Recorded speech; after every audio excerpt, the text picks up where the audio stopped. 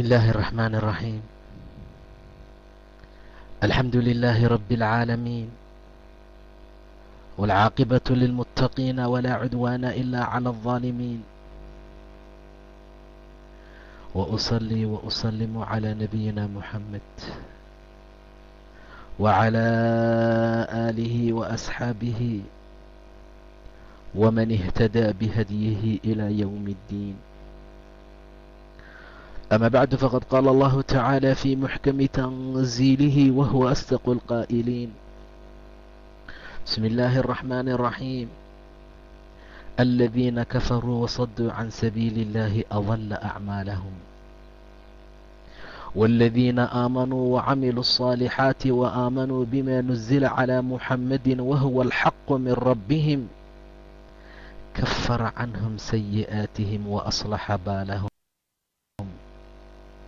ذلك بأن الذين كفروا اتبعوا الباطل وأن الذين آمنوا اتبعوا الحق من ربهم. كذلك يضرب الله للناس أمثالهم. إلهي سبحانه وتعالى. حق إ باطل ا ب ا ط ل ك و وحاجر تفرق. راعضي حقه. Ku dhaqantay xaqa u gargaartay xaqa howl ka dhigatay xaqa sidaa darteedna la magac baxday annaajiya. Alfirqa annaajiya. Walaalayaal man hiya alfirqa annaajiya? Yee yihiin firqada naajiyada ah? Yee yihiin firqada koraysa ee badbaadaysa qiyaamaha yee yihiin firqada ilaahay uu ku tilmaamayo amase lagu tilmaamay oo ku magac ahaan u heshay firqadii badbaaday walaalayaal. Zaman waxaanu ku jirnaa ummadihii ay dusheena isku kay wacdeen. Haddaan muslimiin nahay. Xilli ay ummadihii dusheena ay isku wacanayaan oo ay fitantu badatay maa dahara minhaa wamaa batan fitan muuqata iyo tu qarsoonna ay badanayso oo mawjka hirka oo kale adduunku ay ku noqotay. Sidaa darteed walaalayaal qofka mu'minka ah ee maanta fitantaa ku dhex jira oo ummadihii gaalada intay isku kay hawarwacanayaan ku dhex jira uma bannaana mana u furna waddo aan ahayn altamasuk bikitaabillaah qabsasho kitaabka ilaahay. Wallaahi maanta wax kale oo furan ma jiro. Ilaa kitaabka allah iyo sunnada nebiga oo dhab inta la dhaho lagu dhega maahane. Aladiina kafaruu wasadduu can sabiili illaah adalla acmaalahum والذين آمنوا وعملوا الصالحات وآمنوا بما نزل على محمد وهو الحق من ربهم كفر عنهم سيئاتهم وأصلح بالهم. انت كفر سيء. وإلهي ديدي. وحققات لغكر لا يهي. وأمضق من سمانتا. وحق إي وناغ أمد أن أهر سيدين وناغ إي دينتا كرنقم لغكر لا يهي. أضل أعمالهم. Intiisa alla rumaysay. Nebi moxamed rumaysay. Camal wanaagsan qabatay. Wixii rasuulkeenna dushiisa lagu soo dejiyo xaq ah rumaysayna kafara canhum sayi'aatihim. Qaladaadka ka dhacdhaca waan ka asturaynaa wa aslaxa baalahum. Sababtu maxay tahay oo kuwa camalkooda loo dhumiyey oo kuwana camalkoodii loo hagaajiyey? Daalika biana aladiina kafaruu itabacuu albaatil. Kuwaa baatil bay raaceen. Firqo naajiyay noqon waayeen. Firqo kortay noqon waayeen. Xumaan iyo baatil bay ku dhex jiraan. Shirkiyaad iyo wax ilaahay diiday subxaana wa tacaala. Sunno ay noolaynayaan ma jiro. Waaladiina aamanuu إنت إلهي رميسي الدين حق الدلاشينا حق بين بو يري إلهي سبحانه وتعالى. ذلك بأن الذين كفروا اتبعوا الباطل باطل بين راعين وحن وحب اهين الدين الأنقص لسنا بين راعين إنت مؤمنين نقطي وإلهي دينتي سي كو عمل فشي وخيرك إي وناك كد ذا شينا حق الراعين كذلك يضرب الله saasuu ilaahay dadka mithaalo ugu sameeya subxaana wa tacaala walaalayaal. Muslim maanta adduunka jooga iyo muslimad maanta adduunka joogta uma soo harin ilaa tamasuk iyo qabsasho kitaabka ilaahay iyo sunnada nebiga mooyaane sala allahu calayhi wasalam iyo ku qaniinid lagu qaniino goosdambeedka sunnada nebiga sala allahu calayhi wasalam idin odhan maayo ilkaha hore. Idin odhan maayo miciyaha. Waxaan idin odhanayaa waa codi iyo ku qaniinid bidna waajid goosdambeedka in lagu qabsado. Sidaa darteed ayaa qofku arrintaa wuxuu ku noqonayaa min alfirqati annaajiya firqada badbaaday. Ilaahay idinkii subxaana wa tacaala xaaladda aan hadda idiin cabiray ayaa lagu noqonayaa firqadii kortay. Nebiga wuu noo dardaarmay sala allahu calayhi wasalam qowlkiisa ayuu noogu dardaarmay calaykum bisunnatii war hooyay sunnadayda qabsada. War hooyay sunnadayda laasima war hooyay dushiina sunnadayda ha ahaata iyo khulafadii raashidiinta ee hanuuninta habboonaa sunnadooda ku dhega war qabsada buu yidhi nebiga sala allahu calayhi wasalam tamasakuu bihaa wacadduu calayha binnawaajid goosdambeedkana ku qaniina. Goosdambeedka ku qaniina firqa naajiye ah yeeyihiin walaalayaal. Firqada kortay ma firqadii qabiilka u dagaalantay u ololaysay miya? Firqadii kortay ma firqadii heesaha iyo waxyaabaha kale u tartamay miya firqadii kortay ma firqadii adduunka aruurisoo jamcisoo bangiye iyo waxyaabo kale meel dhigatay miya. Firqa naajiya waa in yar oo dadka ka mid ah. Qaliil. Waa in yar oo bulsho fara badan ku dhex jirta walaalayaal. Firqa naajiya waa qila oo dadka dhex ahaatay. Rasuulka sala allahu calayhi wasalam baa qowlkiisii ku tilmaamay tuubaa lilqurabaa tuubaa lilqurabaa laanta janna waxaa iska leh dadka qariibka noqda. Meeshay maraan way ka muuqdaanoo fartaa lagu fiiqayaa sunnadii rasuulkaa ka muuqata sala allahu calayhi wasalam qamiiskooda wuu gaaban yahay. Gar weyn ayay leeyihiin. Qalbigooda ma aha qalbi waxyaabo kale oo xumaan ama xaqdii waxyaabo kale ku jira balse waa qalbi ilaahay subxaana wa tacaala ku xiran. Waxay wataan jalaabiib ummadda ka dhex muuqataa waxay ku socdaan astaan gaar ah tuubaa lilghurabaa dadka qariibka ah ee qariibnimada noqda ayaa iskale laanta janno. Saa darteed baa firqa naajiya in yar ay ka yihiin dadka dhexdooda. Waa unaas saalixiin ah waa dad suusuuban oo khayr iyo wanaag ku jira. Waa unaas dadka diinta ilaahay haysta subxaana wa tacaala camalkay qabanayaanna camal saalix ah ah waxay ku jiraan dad xumaan fara badan. Sameeya. Waa firqa naajiya inta caasisa waxaa ka badan waxay ka badan yihiin inta ateecda. Macnaha inta ateecda firqa naajiya waxaa ka badan inta caasisa sidaa darteed ayaa ilaahay qur'aanka uu kaga warramay subxaana wa tacaala asagoo tilmaamaya khayrka iyo wanaagga ay leeyihiin. Ilaahayna aad maadix uga noqonayo ammaanaya wa qaliilun min cibaadiya ashakuur wa qaliilun min cibaadiya ashakuur binbaasi baa la weydiiyey man hiya alfirqatu annaajiya firqa naajiya yee yihiin wuxuu yidhi assalafiyuun waa salafiyiin iyo shaqsi kasta oo mara dariiqa ay salafku saalixa mareen salafiyiintaas saalixa ah ee wan wanaagsan waddo ay mareen waa ciddii markaa martaa haddaba manhajka firqa naajiya maxay tahay ilaahay wuxuu ku tilmaamay waactasimuu bixabli illaahi jamiican waa manhajkooda waa dariiqooda. Waactasimuu bixabli illaahi jamiican walaa tafaraquu qabsada xarigga ilaahay.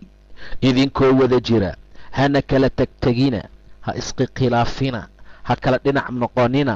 Waactasimuu bixabli illaahi jamiican walaa tafaraquu waadkuruu nicmata allahi calaykum waxaad xustaan nimcada ilaahay oo korkiina ahaatay id kuntum acdaa'an fa allafa bayna quluubikum. Wakhti aad cadowyo iyo dad iska soo horjeeda iyo dad aan is arki karin iyo dad colaadi ka dhaxaysa iyo dad iscuna aad markaa ahaan jirteen. Id kuntum acdaa'an fa allafa bayna quluubikum.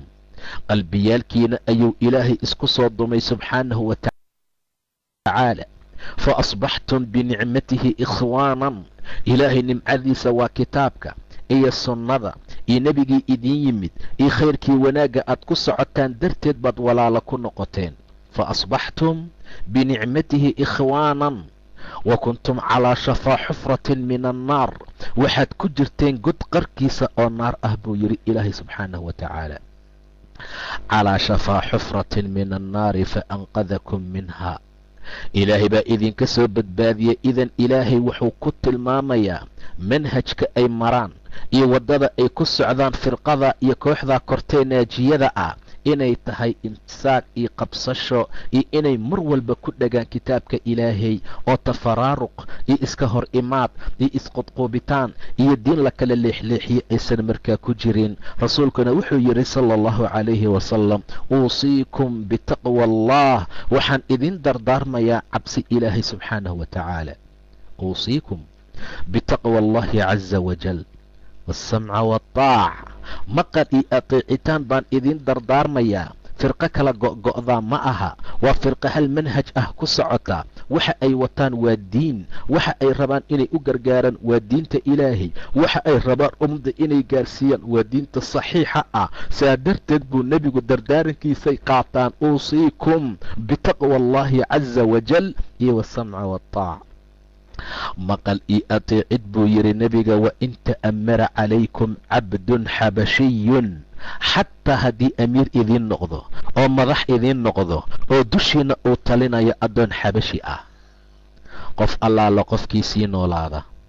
Oo adinka idinka mid ah buu nebigu ku daray dardaarankiisa fasayaraa ikhtilaafan kahiiran wuxuu arki doonaa wuxuu la kulmi doonaa. Qofkiiba sii noolaado cimri dheer ilaahay siiyo oo adduunka sii jooga wuxuu la kulmi doonaa ikhtilaaf iska hor imaad fara badan. Maxaadse uga badbaadi kartaan. Fa calaykum bisunnatii waxaa korkiina ha ahaata sunnadeedii iyo khulafaa uraashidiin sunnadooda.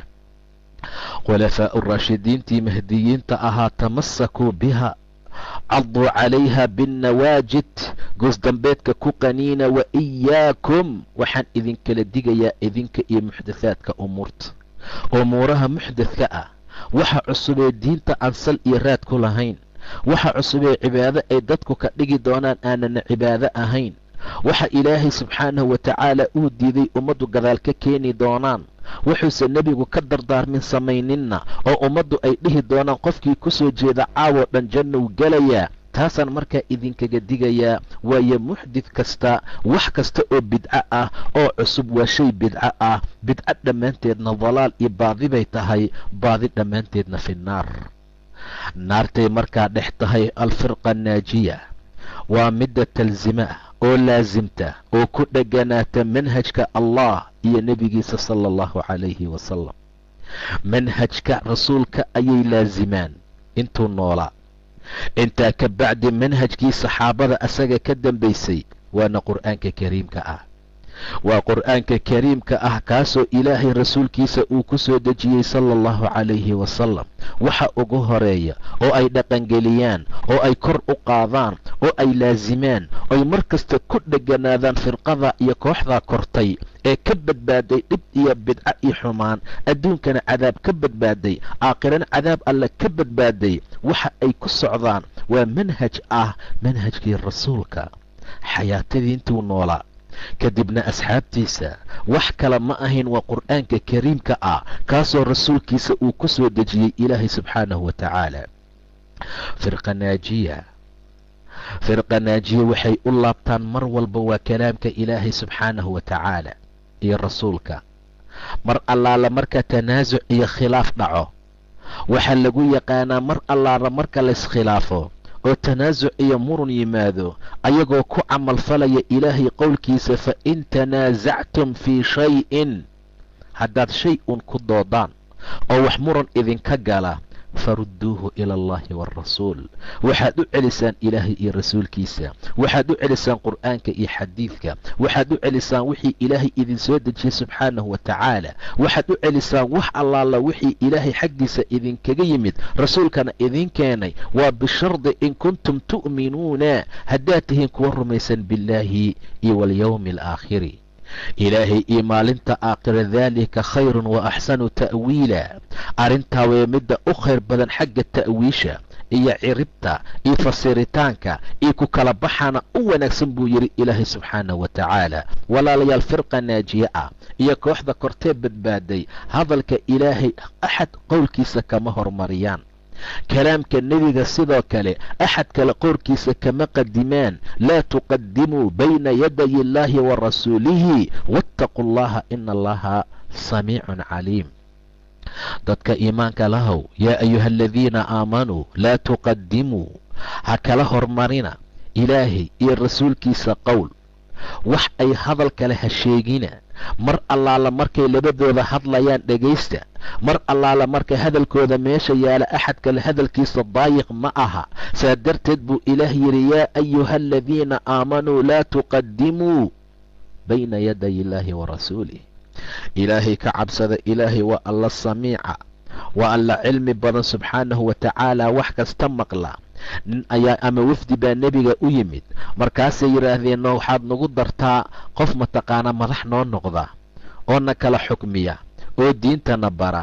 Abuubakar iyo cumar baa meesha fadhiyeen intuusan nebigu hadlin. Cumar intuu qeliyo buu dhahay rasuulka allow hebel raacsii cumarna intuu hadlay buu dhahay maya hebel raacsii abuubakar baa yidhi khilaafkayga doonaysaa cumarow cumar baa yidhi maya adaa khilaafkayga doonaya markaasuu ilaah yidhi yaa ayuha aladiina aamanuu lama dhihin cumar iyo abuubakarow maxaa dhacay? Magac iimaan baa loogu hadlay waayo qof kastaa loola jeedaa oo saasoo kale markaa u dhaqma. Yaa ayuha aladiina aamanuu laa tuqadimuu bayna yaday illaahi wa rasuulih qowl iyo ficil iyo waxbaha kala hormarina ilaahay ka cabsada ilaahay waa alla samiic ah oo cilmi badan subxaanahu wa tacaala firqa naajiya waa firqa tactabir ka dhigta oo ictibaarisa oo kor u qaada tawxiidka. Tawxiidkuna waa ifraadka keliyeelidda ilaah subxaanahu wa tacaala ilaahay in ifraad looga dhigo cibaadada sida baryaha isticaanada istiqaafada oo wakhtiga shadaa'idda iyo rakhaha loo baahan yahay. Qofku waa inuu isticaado la yimaado qofku waa inuu ilaahay subxaanah wa tacaala mar kasta ilaahay magan galaa. Wakhtiga shiddada ay jirtay wakhtiga aysan markaa jirin. Waa gowraca nadarka iyo xukunka lagu xukuntamo waxyaabaha ilaahay subxaanah wa tacaala uu soo dejiyey iyo wixii markaa la mid ah oo min anwaaci alcibaada oo dhan in ilaahay loo tiiriyo subxaanah wa tacaala firqa naajiya taasay ku socdaan. Sifaadkooday ka mid tahay. Waxyaabaha ay ku dadaalaan mar walba oo ay isku halleeyaan waa tawxiidka ilaahay subxaanah wa tacaala waxa rasimaalka ay ka dhigtaan waa tawxiidka ilaahay. Waxa ay rabaan inay janno ku helaan waa tawxiidka. Mar walba waxay ku dheganaadaan oo haddii laysku yimaado xataa marnaba ay sii daynaynin waa tawxiidka. Waayo waxay og yihiin tawxiid la'aan. Qofkii adduunka uga taga inuu ilaahay ku xaaraantinimeeyey jannada ma'wadkiisuna ay markaa naarta tahay. Idan firqa naajiyay noqdeen saasay u badbaadayaan oo waxay ku korayaan waa tawxiidka ilaah subxaanahu wa tacaala man yushrik biاllaah faqad xarama allahu calayhi aljanna wama'waahu annaar hooyadkiisana waa naar buu dhahay ilaah subxaanah wa tacaala waman yushrik biاllah qofkii ilaahay u shariig yeela faka'nnamaa khara min aلsamaa waa qof cirka ka soo dhacay oo kale oo fataktafahu tayr shimbir ay kala dafdaftay buu yidhi ilaahay subxaanah wa tacaala aw tahwii bihi ariixu fii makaanin saxiiq ama makaan saxiiq ah oo dheer ay dabeeshu ku hoobisay ama ay ku tuurtay ina allaha laa yakfiru an yushraka bihi wayakfiru maa duuna dalika liman yashaa ilaah subxaanah wa tacaala ma dhaafa shirki laa yakfiru an yushraka bihi wayakfiru maa duuna dalika wixii shirki ka soo haraa ilaahay wuu dhaafayaa yuu u dhaafayaa liman yashaa. Qofkii markaa uu doono firqa naajiya. Firqadaa kortay alfirqa annaajiya lagu magacaabo.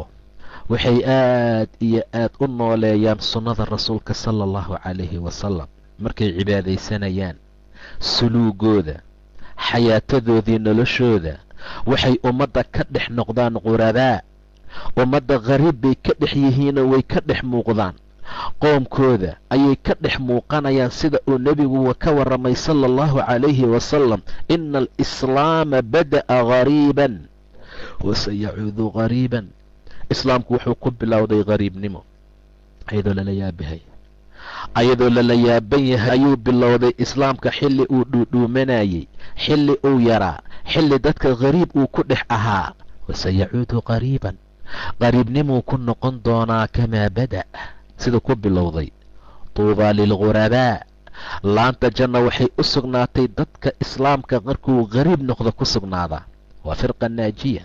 Waa alfirqatu annaajiya dadka noocaas ah ee ku sugnaada islaamku markuu qariib yahay oo ummaddu ay baciidsanayaan oo ummaddu ay la yaabayaan waayo maanta sunno ay mataqaanaa ayaan ku dhaqma haddaad dhahdo dadka gobol ka mida way la yaabayaan. Saasuu ku soo bilowday islaamkii bay la mataqaanaa la yaabi jireen. Abuubakar radia allahu tacaala canhu mar allaala markii uu ku noolaan waayey magaalada maka wuxuu yidhi aniga waan ka haajiraa waa iska baxayaa mar allaala markuu baxay ayaa nin gaaladii ka mida ka hor yimid. Oo yidhi xaggeed u socotaa dhulkaygii ayaan ilaahay ku caabudi waayey buu yidhi. Saan raba ayaan ilaahay u caabudi waayey qari waxaan galay ciriiri iyo dhibaato. Meelahaasaan iska aadayaa ilaahayga aan ku caabudo. Adigoo kale abuubakaroo nin baxaa ma tihida soo laabo anaa ku magangelinayo.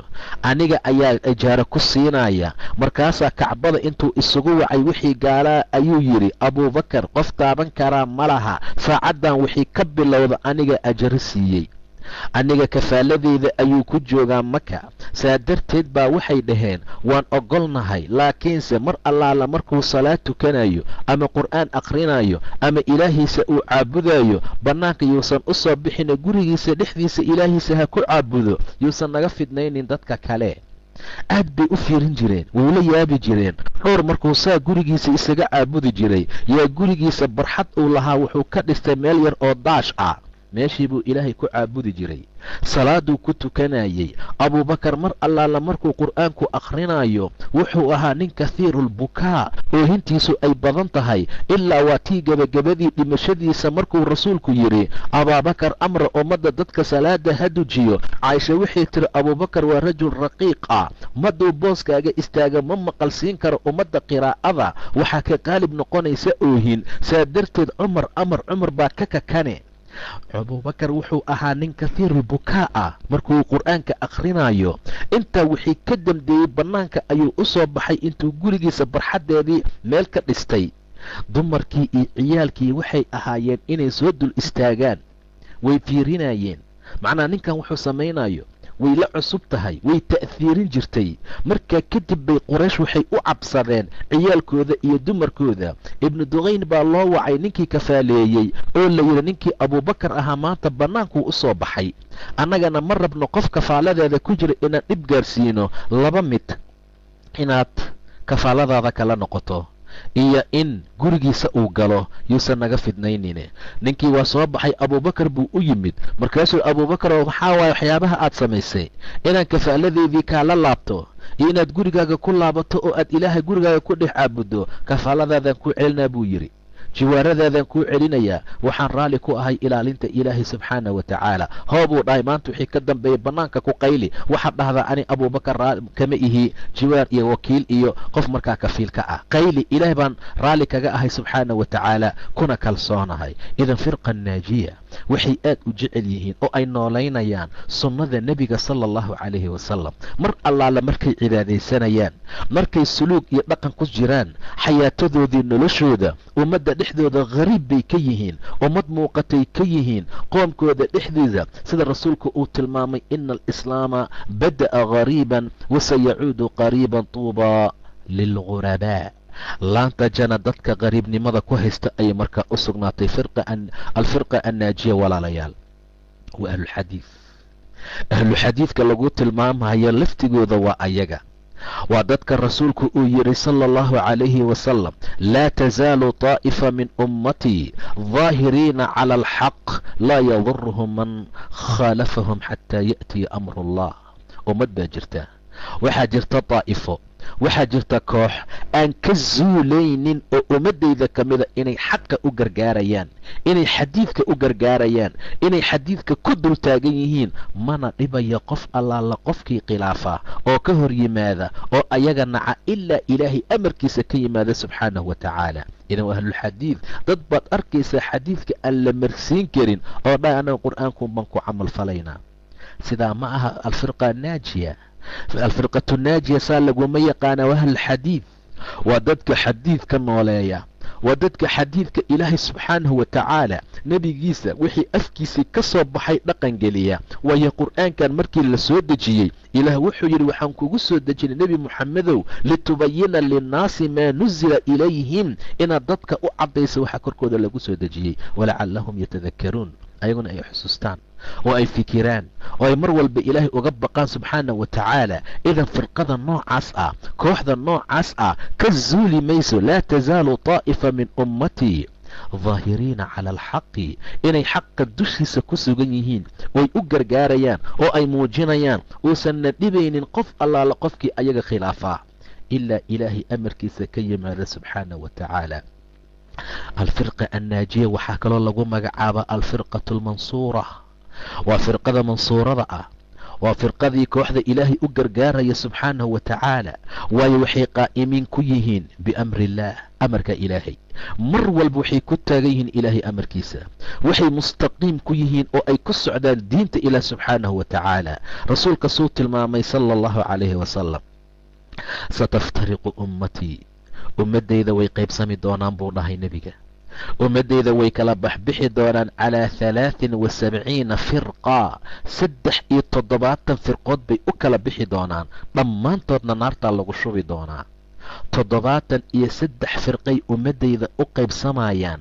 Dhammaantood fi nnaar ilaa waaxida mid keliya maahane hal baa badbaadaysaa toddobaatan iyo labada kale naartay dhex ahaanayaan. Qiila man hiya yaa rasuula allah yaa waayo rasuulkii ilaahayow qaala maa ana calayhi wa asxaabii. Waxaad fiirsataan keliya ani maanta maxaan sameeyaa. Aniga maanta wixii aan qabto iyo asxaabteeda waxay qabtaan inta ku sugan iyo inta ku dul taagan oo aan taakana ku darin taankana ka nusqaaminin dadka noocaas ah waayey ogaada. Toddobaatan iyo saddex firqo ayay u qaybsamayaan ummaddayda oo ay u kala bixbixi doonaan. Dhammaantood ahlunaar waaye ilaa mid keliya maahane man markii la yidhi rasuulku wuxuu ku jawaabay maa ana calayhi. Waa waxaan aniga ku suganahay ciddii ku sugnaata nebi moxamed muxuu samayn jiray. See diinta mataqaanaa uu ugu camalfali jiray. See ilaahay ugu dhowaan jiray sala allahu calayhi subxaanahu wa tacaala see khayrka iyo wanaagga u fulin jiray. Waxa asaga uu ku dul sugan yahay iyo asxaabtiisa. Riwaayad kale waxay ku dartay wahiya aljamaaca. Waa jamaacada. Waa kooxda wadajirka ah. Yacnii waa dadka xaqa ku jamcay waa dadka xaqa ku kulmay. Wahum asxaabu nnebiy waa nebiga asxaabtiisa iyo wixii ka dambeeya oo nahjigooda iyo manhajkooda iyo dariiqooda raaca. Taasaa markaa loola jeedaa. Xaaladda saasay markaa tahay idan. Alfirqa annaajiya. Qolada noocaasuu rasuulku ku tilmaamayaa sala allahu calayhi wasalam haaulaa'i hum alfirqatu annaajiya firqadda kortay waa kuwa wahum altaa'ifa almansuura. Waa daa'ifada mansuurada ee loo gargaarayo waa dadka xuduudda ilaahay ilaaliya subxaanah wa tacaala. Waa dadka ilaahay waxiday oo gooni yeelay cibaado iyo xukun iyo wax walba ilaahay uga dambeeyoo ku waxiday. Waa dadka ku toosnaaday diinta ilaah subxaanahu wa tacaala. Waa dadka gutay faraa'idaha iyo waxyaabaha ilaahay ku waajib yeelay. Waa dadka ka tegey wuxuu ilaahay u diiday watawaasaw bilxaqi waasabri waa ummad xaq iyo sabr isku dardaaranta firqada mansuurada ah ee markaa loo gargaarayo. Waa kuwa itibaaca ku sameeyey oo dhinacna aan uga leexanin rasuulka sala allahu calayhi wasalam waa midda ku toosnaatay diinkiisa qowl iyo ficil iyo caqiida ahaan intaasoo dhan haaulaa'i hum alfirqa annaajiya firqada kortay ee naajiyada ah iyo kooxda badbaaday waa kooxda noocaas ah. Waa daa'ifada mansuurada ah. Uusan dhibaynin man khadalahum walaa man khaalafahum qofkii khiyaano isku daya inuu khiyaano iyo qofkii isku daya inuu hoojiyo. Labadaba uusan waxba ka qaadaynin. Nebigu wuxuu yidhi sala allahu calayhi wasalam iftaraqat alyahuud yahuud way kala go'go'day yahuudi way kala qayb qaybsantay calaa ixday wa sabciina firqa. Kow iyo toddobaatan firqo ayay u kala baxbaxday waa yuhuud. Kow iyo toddobaatan firqo iyo kow iyo toddobaatan kooxood nasaaraa kuu soo hartay calaa hintay wa sabciina firqa. Ayadana laba iyo toddobaatan firqay u kala baxeen. Wasataftaraq way qaybqaybsami doontaa waxay u kala baxaysaa ummaddeydana calaa halaaثan wa sabciina firqa toddobaatan iyo saddex firqo oo kulligood ahlu naar ah. Dhammaantood naarta aadaysa wahay nebiga sala allahu calayhi wasalam ilaa mid keliya maahane qaala man hiya yaa rasuula allah qaala aljamaaca. Waa wada jirka. Away ahlu sunna waaljamaaca waa dadka noocaas ah waa dadka ahlu sunna waaljamaaca lagu magacaabo oo sunnada nebigana aan dhinacna uga leexanin. Jamaacadii iyo wadajirka islaamkana hagaajiyey. Riwaayad kale rasuulku wuxuu ku yidhi maa ana calayhi wa asxaabii waa waxaan ani iyo asxaabtayda maanta ku sugannahay. Waa waxaan ani asxaabtayda maanta dulnahay oo aan ku dhex sugannahay. Saa darteed naajiya waxaa loogu magacaabay liannahaa naajiya min annaar naartay ka badbaadaysaa aakhiro ciqaabka adduunkay ka badbaadayaan. Saa darteed qof walbow firqa naajiye noqo. Aad bay ugu yaraanayaan ummadda. Ummadda dhexdooda waxay ku noqonayaan ummad fara ku tiris ah. Waxay noqonayaan dad quraba ah oo qariibiin ah. Saa darteed alfirqa annaajiya mar allaala marka diintu ay noqoto kaljamra sidii dhuxul naar oo kale waa dadka ku dhega ayaga oo markaa qabsada. Waa dadka isku day waxyaabaha dadkay fasahaadiyaan ama ay haleeyaan inay islaaxiyaan habeen iyo maalin waxay u taagan yihiin ummadda wixii ay haleeyaan inay fiicneeyaan ummadda waxay xumeeyaan inay hagaajiyaan ummadda waxay ku ciyaareen inay ayagu toosiyaan. Mar walba saasay markaa u taagan yihiin ilaan firqada noocaasa waxay naajiyad ku noqotay oo ay ku badbaaday waxay tahay bulshada inay badbaadiyaan bay markaa u kaceen diinta. Ummaddu ay ku cayaarayaan inay badbaadiyaan bay markaa u kaceen. Waxay mar walba u soo jeedaan oo ilaahay subxaanahu wa tacaala diintiisa sidii ay u noqon lahayd mid wada gaartaa meel allaala meeshuu ilaahay ugu talagalay subxaanahu wa tacaala dadaalkooda inta uu la eg yahay ayay howl qabtaan. In allaala inta daaqadoodu ay tahay bay ilaahay ka cabsadaan. Waxyaabaha xaaraanta ama xumaanta bataatan bay uga wada tagaan. Dadka noocaasaa lagu magacaabaa alfirqa annaajiya. Firqada naajiyada walaalayaal maha firqad magac gooniya wadataa nebigu ma uusan odhan waa heblaaye iyo firqa hebel madhin waa firqada nooca iyo nooca u baxda. Madhin waa firqada ayagu mataqaanaa u dad badan. Laakiin wuxuu ku soo koobay inuu yidhi maa ana calayhi waxaan anigu ku dul taaganahay. Meesha waxaad ka fahmaysaa firqada ma aha waxyaabo miise ah iyo taariikiyad gooniya inay leeyihiin. Raqam iyo nambaro la siinayo inuu jiro laakiin waa camal la qabto. Ayay firqa naajiya ku noqdeen. Waa howl ilaahay subxaana wa tacaala raalli ka yahay oo ay sameeyeen yay firqa naajiya ku noqdeen. Waa wax ilaahay subxaana wa tacaala ummadda ay ugu islaaxinayaan diintiisa ayagoo wataa saasay firqa naajiya ku noqdeen. Idan adduunkii fitantiisana way badatay ayadoo mataqaanaa muuqatay ayadoo qarsoon labadaba waxaa badbaaday oo dadkaa ka koray oo dhibkaa ka koray oo dabkaa ka koray oo ka badbaadayna waa alfirqa annaajiya. Saa darteed waxaa loo baahan yahay qof kasta oo muslima inuu ka mid noqdo firqada naajiyada ah. Ma jirto xafiis inta la taga layska soo qoro ma jirto warqad gooniya oo la siiyo waxaa la fiirfiiriyaa oo la tuqsaasaa oo loo kuurgalaa oo la raad guraa waxay tahay maxaa nebiga samayn jiray sala allahu calayhi wasalam maxuu ku dhaqmi jiray sala allahu calayhi wasalam markuu asaga ka dhintay kabacdina saxaabadiisu maxay ku sugnaayeen? Intaas keliya ayaa calaamad u ah. Intaas keliya ayaa miisa u ah. Intaas keliya ummadda kaga soocan yihiin ee kagama socno waxyaabo kale. Iyo dad badnaan iyo hanti badnaan iyo magac gooni ah oo ay leeyihiin iyo aaraa iyo waxyaabo ayaga ay la yimideenoo qalbigooda markaa ku jira ama mid ayaga markaa madax u ah. Ra'yi uu ku soo dhaqaaqay inay markaa ku socdaan balse ra'yiga ay ku socdaan iyo waxa ay qabanayaan waa wixii nebi moxamed sameeyey sala allahu calayhi wasalam maa ana calayhi wa asxaabii sidaa ayaa firqa naajiya markaa lagu noqdaa. Ilaaha xaqa ayaan ka baryaynaa subxaana wa tacaala inuu xaqana na waafajiyo daacada iyo diintana markaa nagu sugo. Ilah waxaan kaloo ka baryaynaa firqada badbaaday ee kheyrkii wanaagga adduunka intay joogeen samaysay. Aakhirana ilaahay agtiisa khayrka iyo jannada ka gaaray inuu rabbi nagu daro ummadaha kala baxbaxaya ee dhowr iyo toddobaatanka noqonaya magacyada kala gedgedisan yeeshay oo qof kasta isku maleeya inuu asagu ugu toosan yahay inuu jannada ugu horeeyo ee nebiga uu yidhi dhammaantood inta la xaabiyaa naarta lagu shubayaa ilaa halkaa firqa maahane kuwa kala tafaraaruqay inuusan ilaahay nagu darin sidna nagula dhigin laakiin firqada keliya naajiyada ah ee badbaaday kortay inuu ilaahay markaa nagu daro subxaana wa tacaala oo aan dhibaynin qofkii khiyaano iyo qofkii dhagra labadaba ilaahayna badbaadinaya subxaana wa tacaala. Daahiriin ahee habeen iyo maalin u kaalmaynaya xaqa dulna taagan sida rasuulku tilmaamay sala allahu calayhi wasalam taasaan ilaahay ka rajaynaynaa allahuma aamiin allahuma aamiin allahuma aamiin wabilaahi towfiiq wallahu subxaanahu wa tacaala أعلى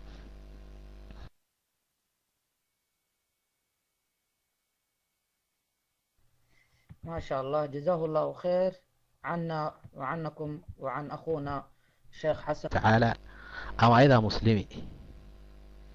أما قفك إسلامي وإهل كذا كمدا إن شاء الله تعالى. مهم معها إيه، قفك إنه الصقة قفك اللقور رويو ذكري إنه صو إسلامه. مرك إن شاء الله تعالى اسلام كو بدن دونا الهي ايدنكي خير فر بدن أو هيري دونا الهي ايدنكي مركا سا درتيد قف ان باسو اسلامي دونا الهي ايدنكي ايد اني نقطه وا معقول ان شخصي غير كيد نقطه وا معقول كبا لا انت لا يراها وي في عنت هي ريديده فخلعنا عليك سلام اورنين النبي موسى عليه السلام marka waxaa la tilmaamayaa in badan qofki inuu howl qaban karo inuu cibaado samaynayo inuu ilaahay u dhowaanayo waa macquul xaaladda noocaasa insha allahu tacaala aad bay u wanaagsan tahay wiil baa ubax isiinaya waa riyo idab darro ah waa riyo aan wanaagsanayn muxuu kuu siinayaa fiyooraha wiilka maxaa idinka dhaxeeya waa idib daro in badan iska ilaali haddaad taqaanana hadalkiisa badan iska ilaali oo aad ajnabi kala tihiin waayo fiyooro oo idib daro sidiisaba wuxuuna ku timaadaa idib darada tan markaa ugu xun. Saa darteed walaal ilaahay ku dadaal daacadiisa wixii dhibaatana allah kaa badbaadiyo. Riyadaas riyo wanaagsan markaa maaha insha allahu tacaala. Nacam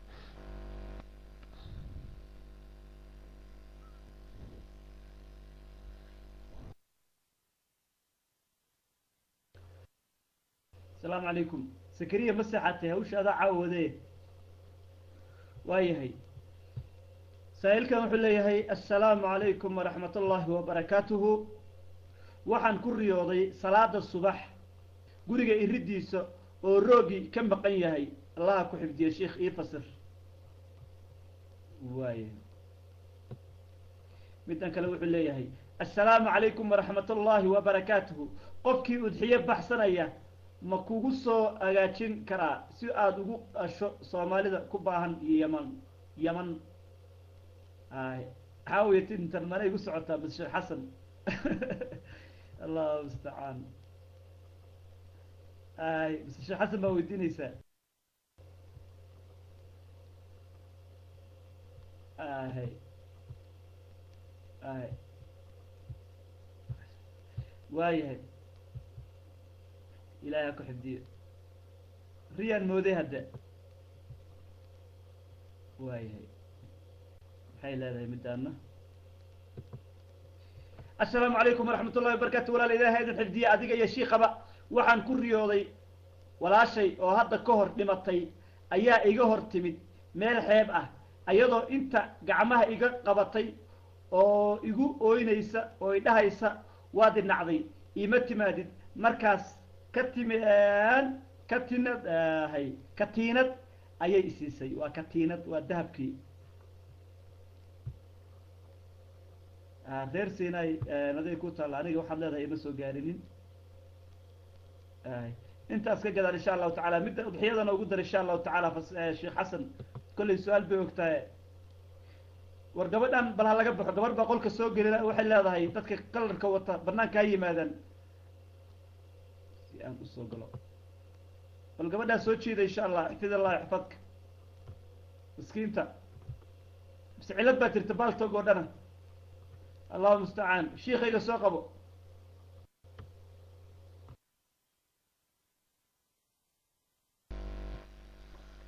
Bismi illaahi araxmaan iraxiim roog baa maqan baa tiri amuu tuug imaan rabaahe taa waa macquul.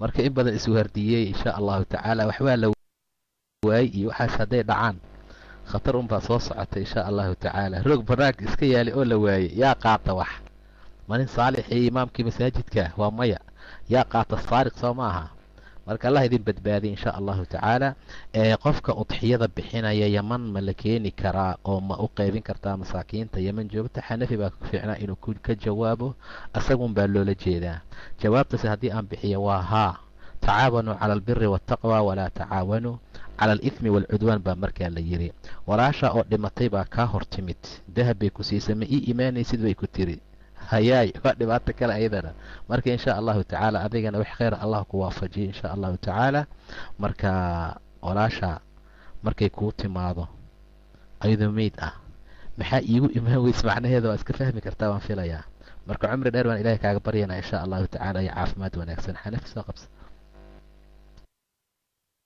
sheekhayga iibkaadi bal aan ka boobay ninka waaba iboobaya caawa dhan. Asalaamu calaykum waraxmatullah wabarakatu su'aalaha wixii soo socdo dhan maaragtay ku dira xanafi ku dira insha allah intaan haayaan soo gabagabayna yar dariska oo iyimidna asna wuxuu leeyahay riyaan haystani oo qolkeygaan ka soo maqlay waa soo cararay. Qoraal ma raba codkeygaan rabaa inaan aga dhargashay xasan.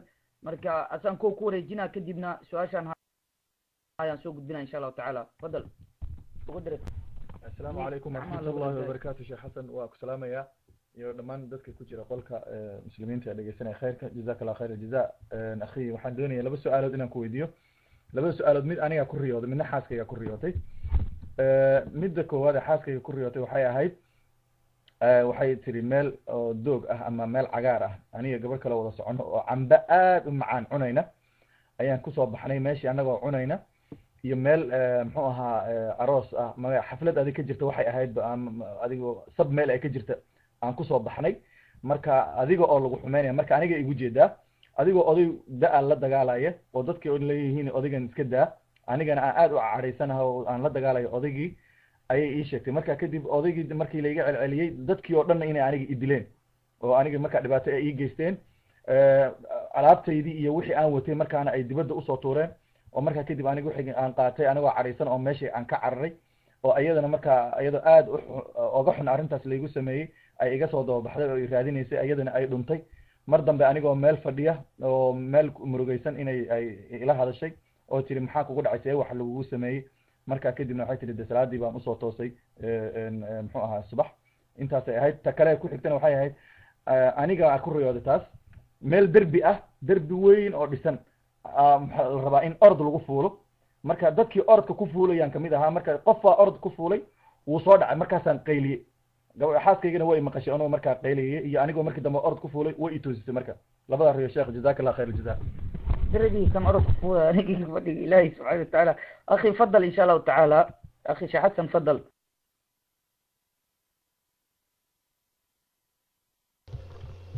Asalaamu calaykum qofkii qolka ka baxa ma soo geli karo. Qofkii qolka ka baxa ma soo geli karo. Taa la ogaada insha allah waa cilad baa dhana marka hadhowtayaan aniga lay qabsanin. Asalaamu calaykum. Fadal shiikayga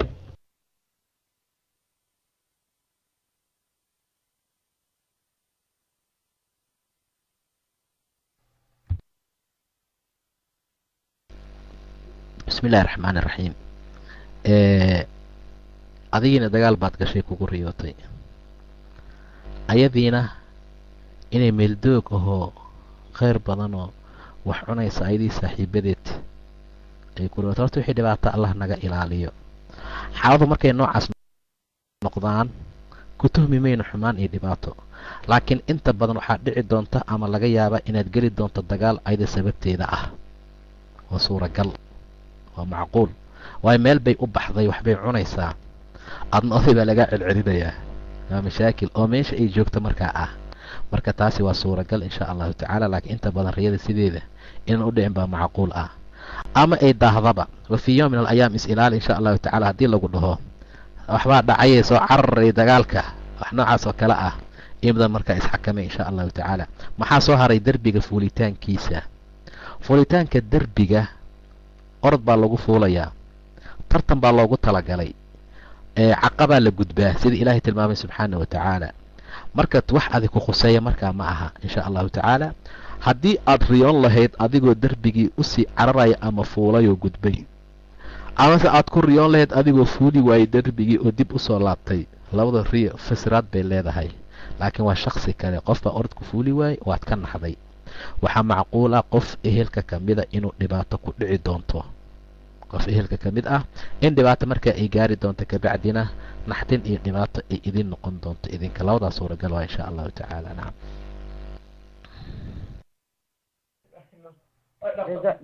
jazaak allahu khayr aljaza assalaamu calaykum waraxmat ullahi wabarakatu saa-ishan waxay leedahay dhammaan walaalaha sheekh xasan salaamta islaamka kugu salaamay. Assalaamu calaykum waraxmat ullahi wabarakatu allah ku xifdiyo. Jizada jizada janno. Su'aashayda waa soonkii wadaca ayaan waxaan soomay afar maalmood laba maalmood iyadoo ay ka dhiman tahay ayaa bishii wadaca dhamaatay soonkiina sidaas ayuu igu dhaafay. Marka ma soo qaleenaa ma ku soo celinaa soonkii mise su'aashaas saasaan uga baxay. Assalaamu calaykum waraxmatullahi wabarakatu akhi sheekha su'aashayda kama jawaabin ee igu celi bliis aniga waxaan ahay xaas aniga iyo ninkayga muddo islama noolaan wax caruurna ma dhalin. Waxaan ku riyooday muddo hore anoo foolanaya ee wiil dhalay. Dad badan waa igu riyoodeen. Mantaano wiil yar oo adeerkay dhalay ayaa iisoo wacay oo leh abaayo adoo mataano dhalay yaan ku riyooday wiilal iyo gabar. Wiil iyo gabar ha mataano wiil iyo gabar adoo dhalan ku riyooday. Haddana rajo kama lihi maxay noqon kartaa sheekh insha allahu tacaala? Akhi fadal insha allahu tacaala.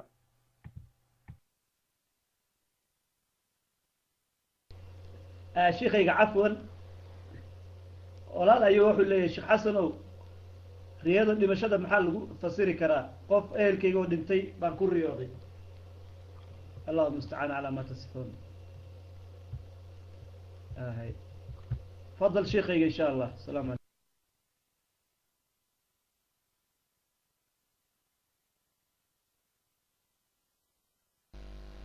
Bismi illahi raxmaan iraxiim qof baa maanta isoo wacay iyo shalmaheed ma xasuustee? Wuxuu yidhi waxaan ku riyooday naag dariskeena oo dhimatay mana dhimanin. Naag dariskeena ah oo dhimatay ayaa ku riyooday xalay.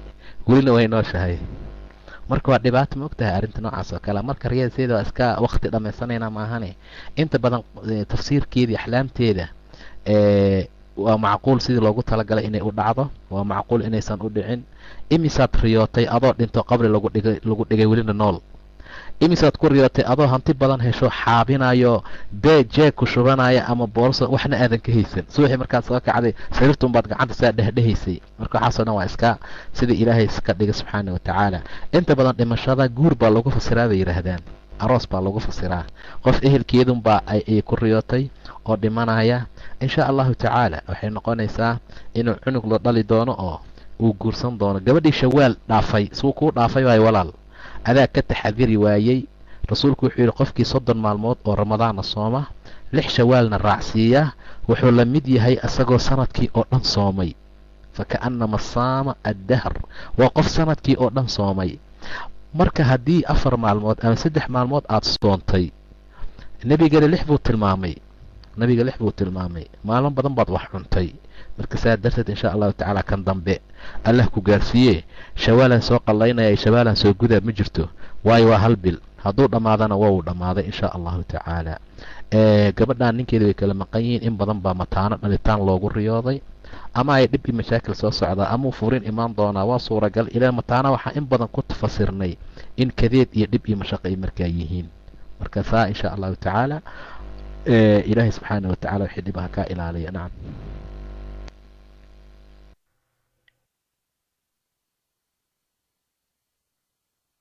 asalaamu calaykum waraxmatullahi wabarakaatu su'aashan sheekhuna waxay ku saabsan tahay qolka. Waa akhriyey waa akhriyey waa ku celceliyey inaa soo gudbiyo ma rabin laakiin waxaa siri bal gudbi. Saa'il ayaa waxay soo weydiisay waxay tiri asalaamu calaykum waraxmatullahi wabarakaatu waxaan ku riyooday anigoo qolka ku jira. Haye oo uu abu axmed oo uu axmed uuna canaananayo. Oo uu weliba xanafi aad u canaananayo. Oo uu leeyahay waxaad ka gaabiseen dacwadii ee sidaan iska bedela xanafina uu leeyahay waan yaro mashquulay.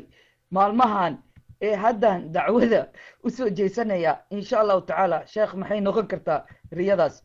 Marka riyadaas qolkay ku saabsan tahay halkaasa oga baxay assalaamu calaykum waraxmatullahi wabarakaatu. Su'aal waaye su'aashan wiil baan guur ku heshiinay oo aan ka ballan qaaday in aan isguursano. Laakiin markaan muddo isa sii baranay baan arkay wiilka in uusan diinta ku fiicnayn waan kaga baxay guurkii aan ka ballan qaaday oo waxaan ku idhi walaal iga raali noqo marka arrinta miyaan dembi iiga imaanaya mise walaal jazaka allahu khayr. Ilahay khayr idin sii su'aashaas ii gudbi. Sheekh su'aal yar oo fudud oo saddexaad aan ku raacina insha allahu tacala assalaamu calaykum waraxmatullahi wabarakatu sheekho waxaan ku riyooday hooyo. Hooyaday ha hooyaday oo sheekhyaal badan dax fadhiso dax fadhiso. Hooyaday oo sheekhyaal badan dax fadhiso. Sheekh soo ku soo soo fadal insha allahu tacaala.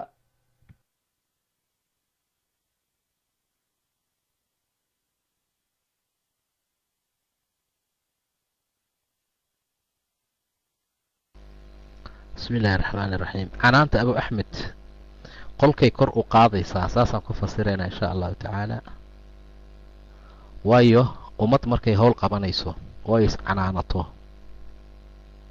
waxay tahay meesha in wax ka soo socdaan. Haddaysan canaani jirin hadday canaan jirin macnaha meesha way dumaysaa way dayacmaysaa. Maxaad kan u qaban weysay? Haddaan qabanayaa hadda qabo marka la yidhaahdo way fiican tahay. Qof wax ku cayaaray marka shib laga dhahana wixii baaba bay markaa u sii dhow yihiin. Marka insha allahu tacaala ihtimaamka weyn ee abu axmed qolka uu u haayana waxbay ka tilmaamaysaa. Dadaalka xanafina waxbay ka tilmaamaysaa. Ilan yaa wax qofka wax qabtaa qofka howl qabtaa wax halleeya laakiin markii sidii qalinka iyo buugga lagugu dhiibo aad dadka ugu keento marka waxba ma halaynaysid adi? Laakiin markaad wax qorto xaraf baad qaldaysaa waxbaad hoos u dhigaysaa waxbaad qalluucinaysaa marka insha allahu tacaala ihtimaamka weyn ee abu axmed iyo dadaalka weyn ee xanafi taana marka waxbay tilmaamaysaa. Intanana inay qudwo noo tahay. Oo anagoo nala canaananayo welina laguma riyoonin waxba ma qabana marka. Marka taasaasay markaa waxa u tahay insha allahu tacaala wiilkan guur baad kula heshiisay. Waa kow. Kabacdi markaad si fiican isku barateen baad ogaatay inuu diinta ku xun yahay marka ugu horaysa adoon si fiican u ogaan maxaad badan uga qaaday. Meesha waa kugu dembi waa kow. Ta labaad seed ku soo ogaatay in diintiisu ay xun tahay. Waa su'aal kaloo meesha ku jirta. Oo aadan soo caddaynin. Waa macquul dumarka inta badan way sameeyaan. Wiil bay la heshiinayaan. Kadib markii mid kale oo kii ay ka doorbidaan ay helaanna waxay cilad uga dhigaan inta badan kaa diin ma laha ee diintiisa see ku ogaatay adi diin la'aantiisii diin daradiisii. Marka horeba hayaa tiriye maxaa hadda isbedelay? Marka way fiican tahay inaan wiilka annaga ogaano. Magaciisa noo sheeg si kaas ah meesha uu joogo waa la soo ogaanayaa. Ilaa adi dumaraa tahay wax badan baa ka qarsoonaan karaa. Masaajidkuu geli karaa ma ka daba geli kartid. Waxyaaba buu samayn karaa ma ka daba samayn kartid. Tafsiir meel lagu akhrinayu aadayaa ma aadi kartid macnaa isku tallaaba maba tihiinba marka adiga boqolkiiba boqol ma ogaan kartid wiilkan. Haddii ay xaqiiq tahay oo arrintaasi ay jirto oo ay dad kaa soo ogaadeen oo wiilal walaalaha ad u dirtay waa mawduuc kaloo gooni ah. Haddii xaqiiq la soo ogaado markaa kadib wax dembiya ma laha. Ilaan qofku wuxuu raadinaya qof ahludiin ah. Laakiin marka u horeys intaan kuu jawaabin waxaa kugu soo noqonaysa see ku ogaatay inuu diin xun yahay. Shalayba hayaa tiri adi. Arrinta noocaasaa markaa jirtaa marka saa darteed iska ilaali xaalad noocaas oo kale ah. Gabdhaha wiil bay la ballamayaan arrin bay ku heshiinayaan guur ah.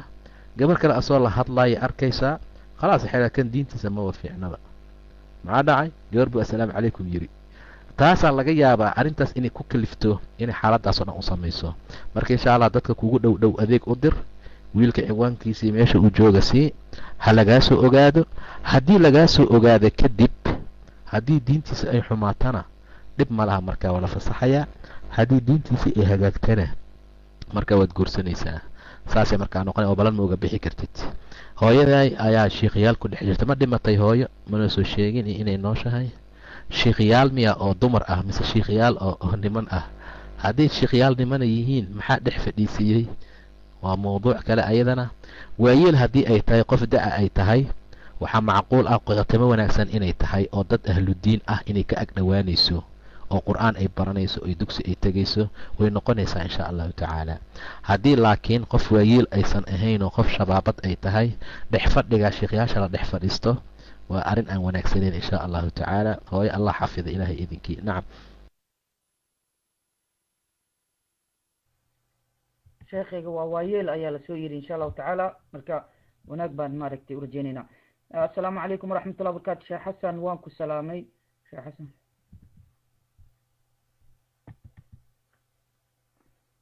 asalaamu calaykum waraxmatullah barakaatu sheekhayga sheekh xasan waa ku salaamay.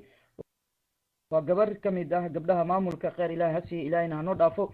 Waxaan ku riyooday walaalkay oo muddo dheer dhintay. Allaha u naxariisto aamiin baa anagoo yar markuu dhintay la dhihi jiray mar walba riyada dhexdeeda waxaa la i dhihi jiray. Muusaan dhiman muusan dhiman ha muusan dhiman. Waxaasna waxay igu dhici jireen dhowr waxay waxaasna waxay igu dhici jireen dhow mar. Marka riyadii igu dambeysay waxay ahayd isoo iila joogo guri. Markaasuu yidhi mar dambe ma dhibtoonaysid. Markaas baan qalbigayga ka bixiyey walaalkay. Mar dambe ma dhibtoonaysid. Markaas baan qalbiga ka bixiyey walaalkay. Maashi su'aasha ku xigta assalaamu calaykum waraxmatullahi wabarakaatu akhi waxaa rabaa caruurtayda aabbahood waan kala tagnay. Marka wuxuu siinayo waan ka warwaraa. Waayo xoolihiisa waxaa ku jira xaaraan xoolo ah. Marka wuxuu siinayo miska tuurnaa. Allahu akbar. Su'aasha saddexaad su'aal iska fudud waay sheekh insha allahu tacala assalaamu calaykum waraxmatullah wabarakaatu gabar macduur ah ma akrin kartaa qur'aanka mise tafsiiri kartaa iyadoo kitaabka qabanaynin. Jazaka allahu khayr. Su'aal labaad waa riyo ayay ku soo qoratay isla gabadhaas. Akhi waxaan ku riyooday wiil yar oo aan he heer heer u ahay. Habaryar may ka wadaa hooyo may ka wadaa ma fahmin u ahay. Waa ka gudbaya insha allahu tacala akhi falyatafadal mashkuuran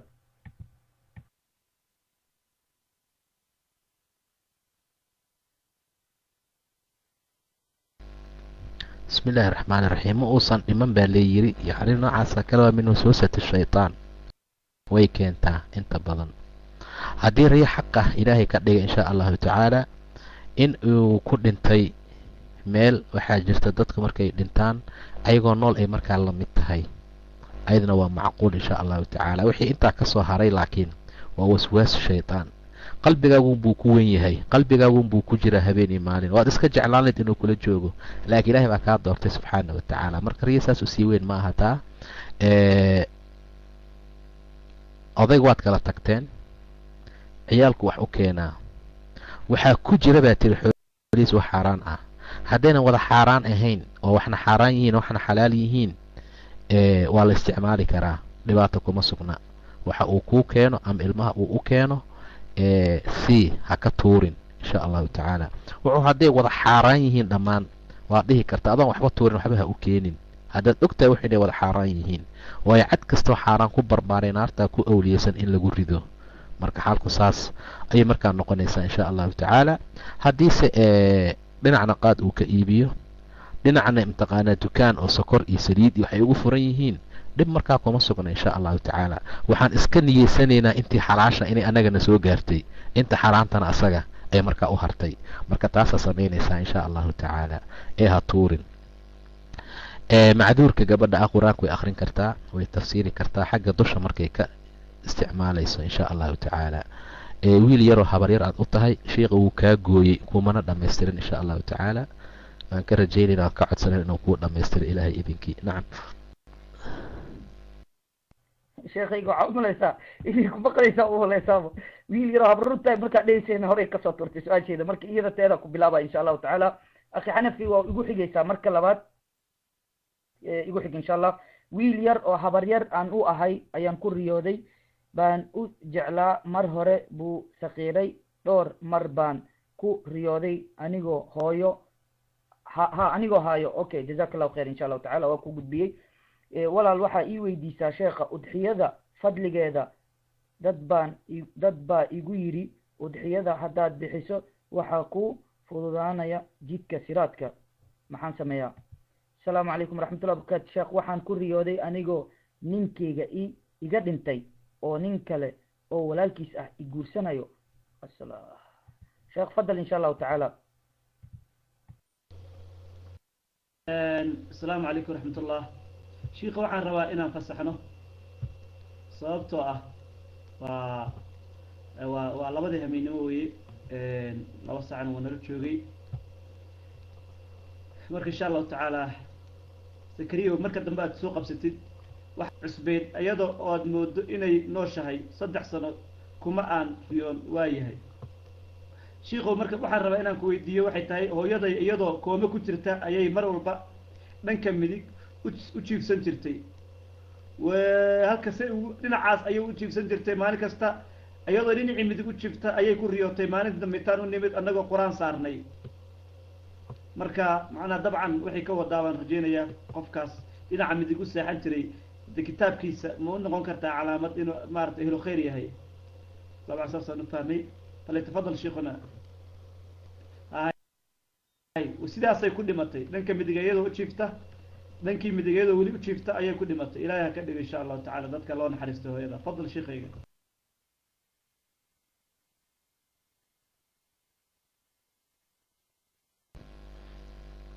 bismi illahi raxmaan raxiim wiilka yaroo habarirta u taabataan soo tilmaanay. Waa waswasatu shaydaan isagana wax riya ah oo sii weyn markaa. Ma aha. Udxiyada fadli badan bay leedahay.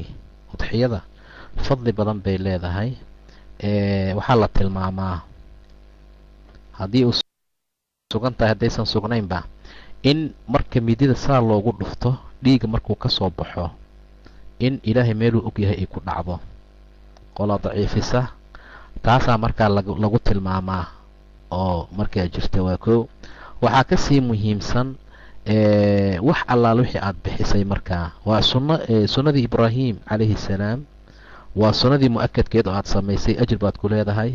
Ikhtadaha iyo kudayashada nebiga aada ku dayatay ajir ayaad ku leedahay insha allahu tacaala hilibkii aada bixisay maqaarkii wixii rarada saarnaa dhammaan miisaanka xasanaadka ah ayaa lagu saarayaa maalinta qiyaamo. Almuhiim wixii ilaahay samay ku yidhaahdo oo aada samayso ajir la'aan ma aha. Siraadkaa laygu gudbiyaa iyo qabrigaa laygu waasiciyaa iyo saanay ii noqonaysaa adoon waxba dhihin xasanaad unbaad ku helaysaa insha allahu tacaala ilahay hala xisaabtamin asagun baa ku siinaya xasanaadkiisii khayrkiisa iyo wanaagii aada markaa samaysay ninkayga oo dhintay ayaan ku riyooday oo nin kale ama walaalkii i guursanayo cumri dheer buu helayaa insha allah waadna isku duqoobaysaan ilaahay idinkii biidni illahi tacaala nin kalena ku guursan maayo hooyaday waxay u jiifan jirtay dhinaca midigta ayadoo kooma ku jirta qofka wixii markaas uu samayn jiray intuu caafimaadka qabay. Yaa markuu xanuunsado inta badan uu badinaa marka waxay calaamad u tahay hooyo inay inta badan u seexan jirtay dhinaca midigta ah. Miisay u noqon kartaa insha allahu tacaala. Waayo midigta loo jiifto waxay ka mid tahay sunnada nebiga. Waxyaabaha ugu qiimaha badan. Marka haddii ay nooshahayna insha allah maasha allah ilaahay caafimaad allah siiyo. Haddii ay dhimatayna ilaahay naxariistii janna allah ka waraabiyo. Idan waa ficil ka mid ah ficilooyinka wan wanaagsan ee dadku ay sameeyaan. Marka midigta loo jiifto insha allah nacam insha allahu tacaala maaragtay haddaan dhahno su'aalaan wadaynaa wadaynaa wadaynaa caawa dhan maaragtay luuqayga saan u akrinayo waa daalay ma istaagayaan ilaa hadda waa soo socdaan. Marka raalli ahaada hadduu ilaah yiraahdo cumriga ma dhammaanayo haddii la nool yahay habeene kalaa soo socdo marka intaa ku ekeenayna sheekh walaalaha maaragtay u duceey adigana jazahu llahu khayr aljaza maaragtay dad badanaa ducooyin soo dalbaday oo oo maaragtay luuqa soo dhigay marka insha allahu tacaala aniga ra'yigan maaragtay qabo waxa waaye ducada noogu soo qatin. Xanafi hadduu su'aalo kala haayo oo uu soo gudbinayo maan dhankayga waa waa soo xiro waayo ma istaagayaan xaggaasan raxmaan iraxiim ee way mudan yihiin insha allahu tacaala in loo duceeyo. Ilaahina aan ka rajaynay inuu ducadan naga ajiibo insha allahu tacaala sababta waxa ay tahay juhdiga iyo dadaalka weyn ee marka ay wadaan. Ilah waxaan oga baryaynaa inuu miisaankooda xasanaadka u saaro waxay u dadaalayaan waa in ilaahay jannadiisa ay helaan ilaahay jannadiisa ugu bishaareeyo ilaahay kitaabkooda gacanta midigta allah ka siiyo ilaahay subxaanah wa tacaala adduun iyo aakhiraba allah ku xafido ilaahay subxaana wa tacaala dadaalkaa weyn isay galabta usoo galeenoo meeshu ay fadhiyeen raadihaashay ku raadinayeene in ilaahay raadihaashadiisa ay u waajibto saqadka ilaahayna ilaahay ka qabto subxaana wa tacaala ilaahayna uusan u caroonin adduun iyo aakhiraba yaan ilaahay uga rajaynaynaa raggoodii dumarkoodaba reer ahlu taqwa insha allahu tacaala iyo ama reer ee attaqwa. Marka ilaahay saasaan marka uga rajaynaya insha allahu tacaala in wixii dhibaya adduunka ilaahay ka qabto in allaal intay adduunka joogaan cizi iyo karaamo inay ku noolaadaan ayagoo ducaad ahoo diinta ilaahay wata oo diinta ilaahay dhagaysanaya oo diinta ilaahay baranaya oo diinta ilaahay subxaana wa tacaala kor u qaadaya in ilaahay xujay ugu noqoto agtiisa miisaankooda xasanaadkan ilaahay ugu kabo siay meeshaan ugu kulmeen inuu ilaahay jannada iyo firdowsa ugu kulmiyo sidai ay ilaahay subxaana wa tacaala diintiisa ay u xakameeyeen in ilaahay dhibkii xumaanta uga xakameeyo siay diinta ilaahay u jeclaadaan inuu ilaahay u jeclaado subxaana wa tacaala ayaan ilaahay uga rajaynaynaa. Dhammaan inta ka saartoo kale muslimiinta dhammaantood ilahi waxaan ka baryaynaa intii xanuunsan ilaahay caafimaad taam siiyo intii muraad leh inuu ilaahay muraadkooda oo kheyr leh ilaahay u sahlo in allaale intii dhibaataysa inuu dhibka ilaahay ka qaado intii kurbaysa ilaahay kurbada inuu markaa ilaahay ka faydo ilaahayna diintiisa inuu cizeeyo subxaana wa tacaala iyo ehelkooda wixii ka soo horjeedana inuu ilaahay duleeyo subxaana wa tacaala ayaan ka rajaynaynaa. Intaas iyo allahuma aamiin allahuma aamiin allahuma aamiin